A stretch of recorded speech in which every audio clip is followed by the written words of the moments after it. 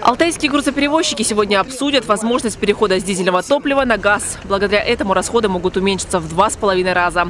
Напомним, не так давно владельцы крупногабаритных машин даже выходили на забастовку из-за высоких цен на дизель.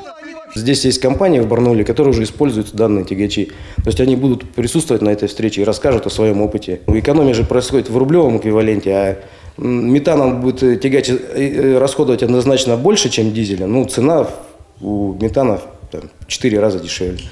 На встрече сегодня будут присутствовать сотрудники ГИБДД и даже представитель Национальной ассоциации грузового автомобильного транспорта, который специально приехал из Петербурга. Планируется обсудить общую ситуацию на рынке грузоперевозок, в том числе дорогое топливо и низкие зарплаты водителей.